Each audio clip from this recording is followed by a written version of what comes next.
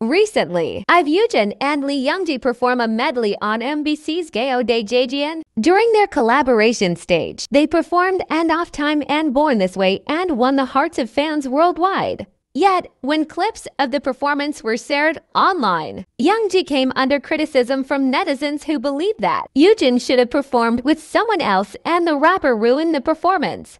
Yet, amidst the criticism, netizens have come to the rapper's defense, while some explained how popular the bond between Youngji and Yujin was. Others explained that fans just seemed to enjoy hating on the rapper for reasons that they didn't understand. Yet, it seems as if fans weren't just defending Youngji. Many were actively praising the duet and how perfectly the two idols worked together.